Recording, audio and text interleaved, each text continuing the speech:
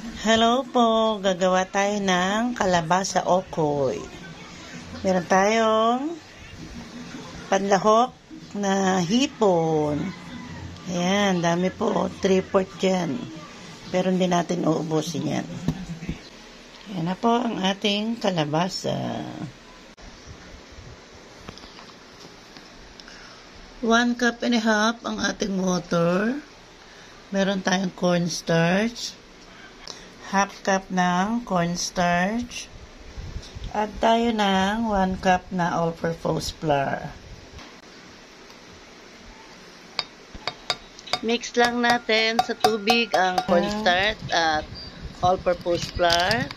Maglagay tayo ng isang magic sarap. Haluin lang po nating mabuti ang ating flour hanggang mawala na po yung mga lumps or yung buo-buo niya.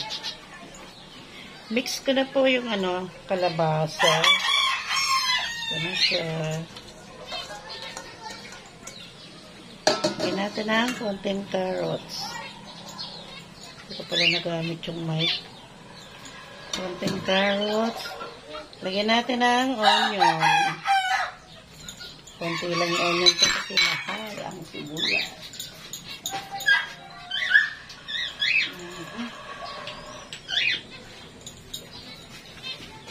tayo ng konting paprika.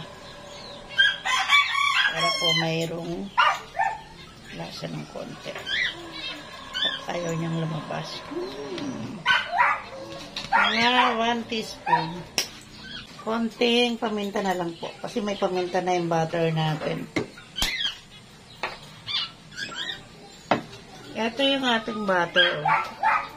Ito po yung ganito yung consistency dapat. Malapot. Hindi naman siya masyadong malabnaw. Nakita niyo po tinimplahan ko na rin to kanina. Mimix natin to ngayon. Hindi ako magkakamay kasi magsusuot na naman ako ng guantes ganyan lang po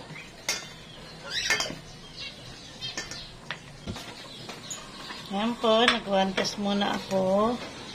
Suot ako na para mahalo natin siya mabuti. Parang kulang yung ating onion.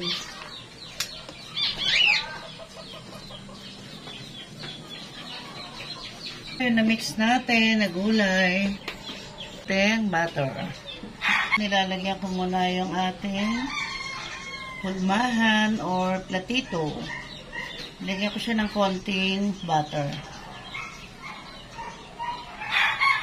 Tapos, ganito na po. Lagay lang natin yan.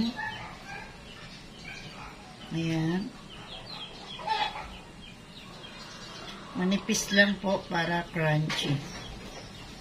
Lagyan natin siya ng dalawang hipon. Tapos, lalagyan po natin siya ulit ng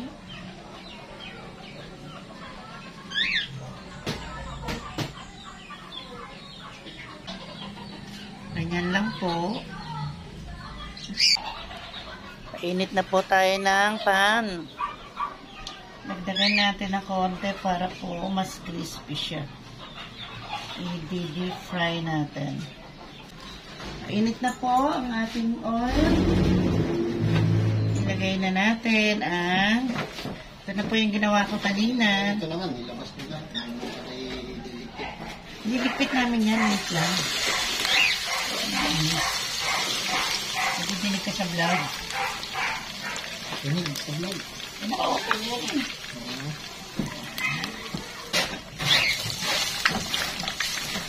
Para po hindi masyado maghiwa-hiwalay. Parang kukunti pa lang aking butter. Yan. Ilang maganda yung kulay niya. Nalimutan kong lagyan ng pampakulay. Na rin po itong isa.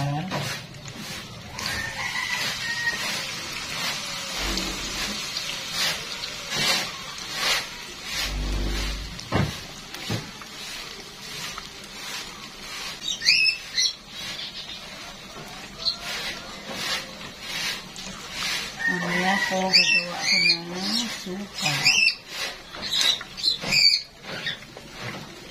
Ito naman na siya. Kaya natin siya dito para makatulog. So, isa para ang lalaki ng aking okoy.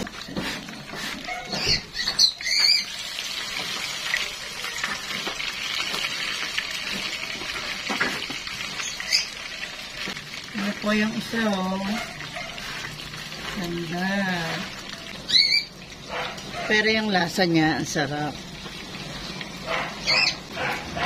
Pala yung ginawa ko po kanina na one cup na flour at saka half cup ng cornstarch. Limang piraso yung nagawa niya. Kaya lang makakapal kasi to siguro kung maninipis.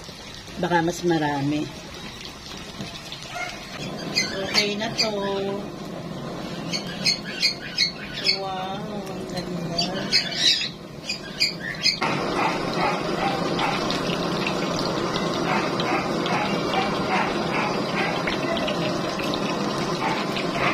Ano Opo, may ganda oh. Nasunog yung isa. Oh, ganda ano po. Ito na po finished product ng ating Opoy.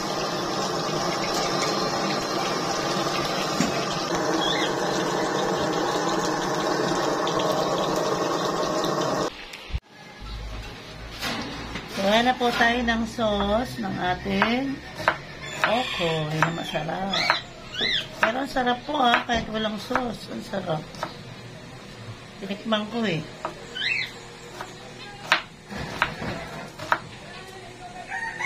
Pag nagluluto kasi ako, napaka-haggard ng mukha ko.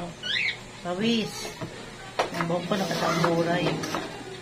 Kaya minsan ayoko marap sa camera. Gusto ko lang pag bagong ligo ako. Nahiya ako. Arte-arte, no?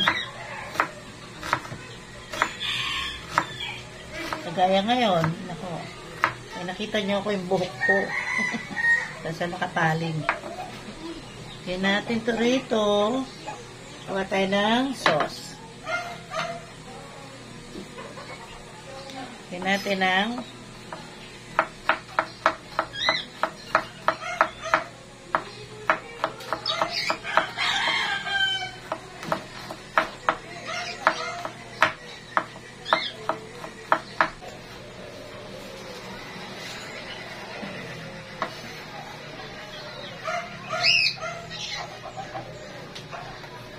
bawang.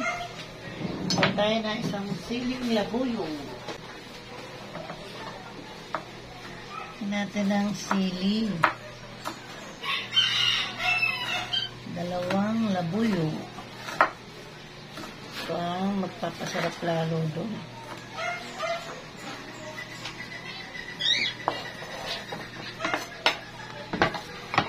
Wala yung ibon, sayang. Ayun o, sa paso. Naglalagay po ako ng suka. Wala yung kanyang maliliit na ibon. Ang cute.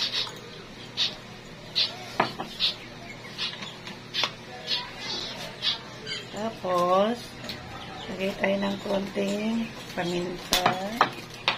Um,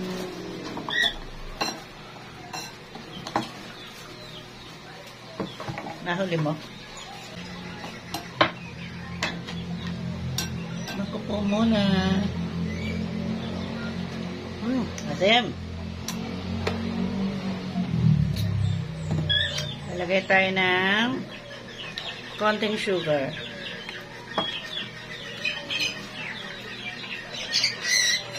Saka may lalagay po tayo ng konting water.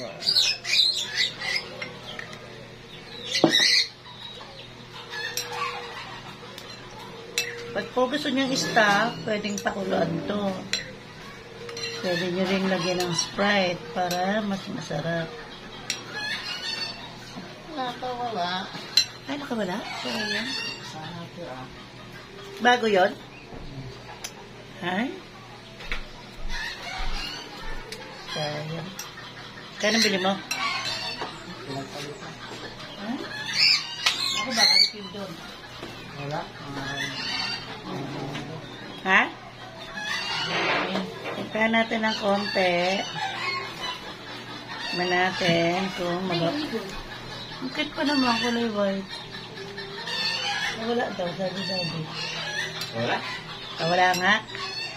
Happy mo nga, Jabal, baka dyan lang. Pinaka-cute pa naman yung puti. Hmm, sarap ng sauce. Grabe, sarap. Sarap po. Promise. Sarap, yummy. Konting-konting asin.